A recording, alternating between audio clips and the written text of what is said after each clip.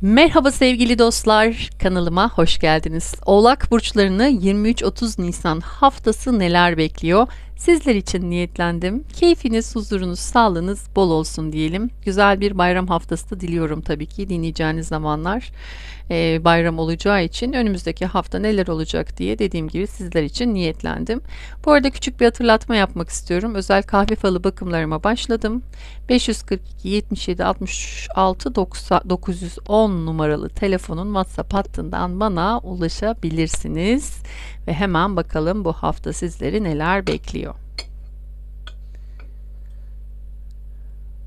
İş, iş, iş, iş, iş. Varsa yoksa iş. Aile hayatınız bu hafta sakin. Bir kere aile hayatında geçtiğimiz hafta bazı konulara sünger çekeceksiniz. Hafta sonu böyle sanki çocuklarla aranızda bir atışma olabilir ama pazartesiden itibaren sakinliğin hakim olduğu bir haftaya giriyorsunuz. Geçtiğimiz haftadan yarım kalan işlerin toparlanması hanede görünüyor. Bunu da seve seve yapıyorsunuz. Yani böyle hiç de e, keyifsiz değilsiniz. Sanki böyle toparlanıp düzenlenip yolunuza devam edeceğiniz bir hafta. Tertemiz, sakinlik var, ilişkilerde sükunet. Hani ikili kişi görmüyorum bile hani böyle bir, bir sakinlik hali görselleri var. Cumartesi, cuma günü e, iki konu, iki noktada gideceğiniz bir yol görünüyor. Hani bir yerlere gitme, birilerinin gelmesi gibi olabilir ötelenmiş görsellerde yani bundan önceki haftalarda ya da günlerde bir plan yaparsınız. O plan dersiniz ki bugün olmadı yarın değil işte cuma günü yaparım. Cuma günü de bu planın e, oturtmuş gitmeniz gereken yer neresiyse gitmiş olarak görünüyorsunuz. Gene aynı şekilde temiz görsellerde çıkıyor. Temiz görsellerde çıkıyor da bir de şey e, hanenize ters ters bakan birisi var. Cuma günü o kişiyle karşılaşıp böyle yan dönüp gideceksiniz. Çok sevmediğiniz, keyif almadığınız bir kişiyle görme durumunuz var. Para bekliyorsunuz. Şimdi burada iş konularınız biraz karışık bu hafta yalnız. İki konu sırtınızda yük olmuş ve bir kişiden taleptesiniz. Talep yani talep beklenti içindesiniz. Benim iki tane sıkıntım var. İş ve para konularıyla alakalı. Bunları çözmesi için şu kişinin bana yardım etmesi lazım diyorsunuz. Ama o kişi arkasını dönmüş. Ya sizin yardım desteğinizi farkında değil ya bu kişiyle görüşemediniz. Aranızda sesli puslu bir durum var. Pazartesi değil ama salı günü bu kişiye ulaşmaya çalışma, bu kişiden destek almak için beklenti içinde olma, hani bir şeylerin karşılanması adına birilerinden beklenti içinde çıkıyorsunuz ve sırtınızda iki konu var.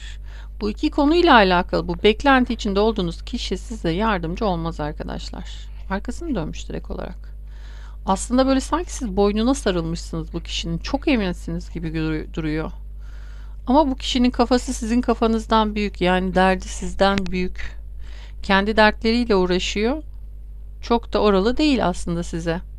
Hani e, beklenti içinde olduğunuz bir kişiden red alabilirsiniz bir para olabilir bu. işinizle alakalı bir yardım olabilir ama bu kişi size yardımcı olamayacak. Yardımcı olamadığı için de çarşamba günü önünüzde yığılmış işler görülüyor bakın. Ve siz sanki yukarıdan onlara bakıyorsunuz. Ben bunları nasıl teker teker ayırır, çözer, toparlarım der gibi biraz düşüncelisiniz. Kafanızda bir sarık var. Bu sarıklardan birinin içinde de bir kaçma, uzaklaşma, konularla ben bir günde hesaplaşamam. Sanki yığılmış, yığılmış, yığılmış. Çarşamba günü artık çöz bakalım onları diyorlar size. İki yol, iki farklı konu gene aynı şekilde çıkmış. Ee, burada destek alacağınız kişi sizden uzaklaşmış çıkıyor. Ee, burada yalnız bu işlerden bir tanesi biraz sorunlu. Hani bir konunuz bir kişinin üstünde de yük aynı zamanda bir kişiyle alakalı da olabilir tabii bu ama önü kapanmış bir çamurun içine sıvanmış orada kalmış yenilenmeyi, yeniden doğmayı bekleyen bir iş olarak görünüyor. Kafanızdaki sarık görselleri de var aynı zamanda. Çok bildiğiniz bir işte tıkanıklık yaşıyorsunuz arkadaşlar. Yani kendinizden eminsiniz aslında ama kişilere bağlı bir sorundan belki de bu tıkanıklığı aşmanız çok mümkün olmayacak. O yüzden hafta başı iki iş diyorsak eğer bu iki işten bir tanesinde mücadelenizde olumlu ol, sonuçlar alabilirsiniz. Ama diğerine baktığım zaman net tıkalı görsellerde çıkıyor. Hep gözünüz orada ve de hani ha olsun, hadi olsun, hadi bitsin, hadi yapılsın ama yok. Bu hafta için o konuda çok da e, olumlu şeyler söyleyemeyeceğim. Kulaklarınızı dört böyle açılmış kulaklar böyle kocaman olmuş. Haber beklentisi görselleri de çıkıyor. Çarşamba dedik. Perşembe günü e, şimdi önünüzde bir kişi var. Siz arkadasınız. Geçmişe doğru bakıyorsunuz. Bir elinizde bir tane kese. Diğer elinizde de bu kişiyi tutmuş bırakmıyorsunuz. Sanki bir hırsız yakalamışsınız gibi görsel. Hani burada e, ahtapot kolları olan birçok iş yapan bir kişi. Bu kişinin e, elinde bir para yakalıyorsunuz. Hırsızlık var aslında ya. Sanki parayı da yakalayıp çevrenizdeki insanları gelin yakalanım der gibi bir elinizde de kese altınlar. Diğer elinizde bu adam ortada durmuşsunuz. Gelin bana yardım edin yakaladım bak diyorsunuz. O tarafa da altınları gösteriyorsunuz bir ihanet var yani bir ihaneti ortaya çıkartabilirsiniz. Bunu yapacak olan da sizsiniz. Ee, bir para kaçağı durumu olabilir. Parayı yakalayabilirsiniz ama bir kişi böyle öne doğru kaçmaya çalışıyor ama siz onu ensesinden yakalamış bırakmıyorsunuz. Bu kişi de ahtapot görsellerinde çıkıyor. Dediğim gibi dokuz kolu var sanki birçok işle birçok konuyla uğraşan bir kişi olarak görünüyor. Hadi bunu da atladınız diyelim. Bunu atladığınız anda yalnız böyle hayatınızda müthiş bir oh be durumu olacak. Yani cuma günü şu perşembe günü karışık olan konuyu bitirdiğiniz anda o kişi yakalanıyor. Şimdi para kaçıran, para çalan diye değerlendirdik ama işini yapmayan, ödemesini yapmayan gibi de düşünebilirsiniz. Bu kişiyi yakalamış e, elinizde bir kese olduğu için hakkınız olanı alacağınız anlamına da gelebilir bu. Zaten cumadan sonranız gene aynı şekilde pürpak e, aynı ev görsellerinde tertemiz görsellerde çıkıyor.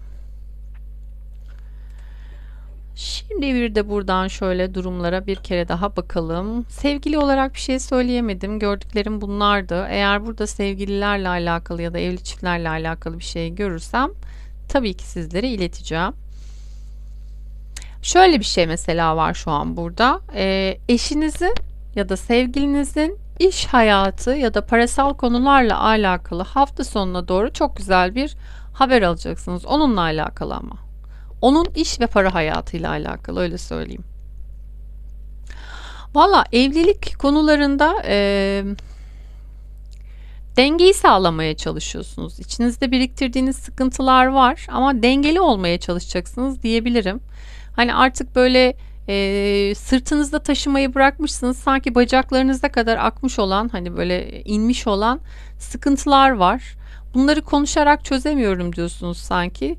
Biraz eşiniz arkanızda kalmış. Önden önden iş, para, parasal konularla alakalı daha aktif olmaya çalışacaksınız hanenizde. Bu ilişkilerle alakalı da aslında ilişkinizden beklenti değil demeyelim de yani İş kendi işinizle alakalı beklentileriniz olur. Eşten beklentiniz olmaz ya da sevgiliden beklentiniz olmaz diyebiliriz. Hani onlar arkanızda kalmış böyle. Hani gelin işte ben gidiyorum şu işlerimi halletmem lazım. Şu para meselesini çözmem lazım. İşte işime gidip gelmem lazım gibi. Arkanızdan sizi takip ediyor görsellerinde gene burada çıkıyor. Ee, bir, bir de aileden bir kişi akraba olarak değerlendiriyorum bunu ama eşinizin akrabası gibi de duruyor. E, hafta sonuna bir birleşme, e, bir konuda güç alma, bir konuda fikir alma durumu olabilir. Özellikle eşiniz üzerinden bir konuda fikir alabilirsiniz. Burada kenarda durmuş konuları böyle sanki uzaktan analiz ediyormuş gibi görünüyorsunuz. Hani bu evet söylüyor ama bu böyle olsa şöyle olsa der gibi de böyle ikilemleriniz var bu destek veren kişiyle alakalı. Daha çok eş arkanızda böyle sinmiş, korunmanıza muhtaç görsellerde çıkıyor. Siz göğsünüzü gere gere e, bunu bunu bunu şu şekilde yapacağım der gibi e, hane kontrolünü net olarak elinizde tuttuğunuz bir haftada diyebiliriz. İş konularında kafanız çok karışık ve e, burada gene işte bir kişiyle didişme durumunuz olabilir. Karnından konuşan bir kişi bu yalnız. Böyle ağzından çıkmıyor laflar. Zorla çıkıyor ama hani tavırları, hareketlerinden rahatsız oluyorsunuz. Ya adam gibi konuş ya hiç durma karşımda der gibi çıkıyorsunuz. Bunun arkasında da iki tane sivri var. Böyle ince naif kişiler gibi görünüyorlar. Dolduruyorlar biraz bunu. Arkadaş ya da topluluk içerisinde bir kişinin tavır ve hareketlerinden hoşlanmayıp şöyle elinizin kenarına böyle geç kenara diyebileceğiniz bir çarşamba günü de var aslında. E, iki koldan destek aldığınız bir kişi var. E, iki koldan uğraşıyorsunuz, destek alıyorsunuz pardon. Sırt sırta vermişsiniz çünkü burada ve sizin elinizde bir başlangıç e, ibaresi var.